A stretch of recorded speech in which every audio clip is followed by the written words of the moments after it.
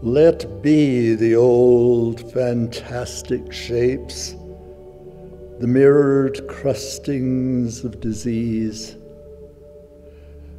the frost that at the window gapes is mimic of the hearthstone's freeze.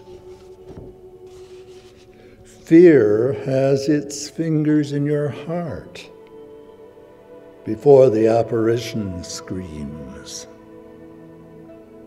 Your thought distills with poisonous art the chilling vintage of your dreams. Strike down, strike down the flags of gloom, dust away cobwebs of desire.